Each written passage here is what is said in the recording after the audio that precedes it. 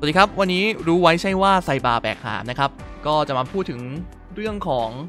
feature ใหม่ที่เข้ามาในอัปเดตล่าสุดก็คือ feature ที่มีชื่อเรียกว่าสมุดสติกเกอร์ครับก็วิธีการเข้าไปดูนะครับก็คือกดปุ่มขวาบน แล้วก็จะมีคำว่าสมุดสติกเกอร์เนอะ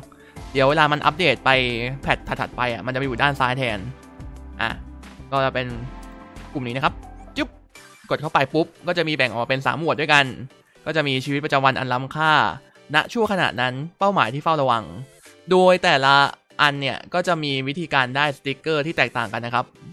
สำหรับใครที่ตามหาสติกเกอร์นะครับผมตอนนี้ตอนนี้สิ่งที่มีอยู่ก็คือมีแค่นี้ อันนี้คือยังไม่มานะ บอกก่อน นี่สองตัวนี้ก็ยังไม่มาเหมือนกันครับ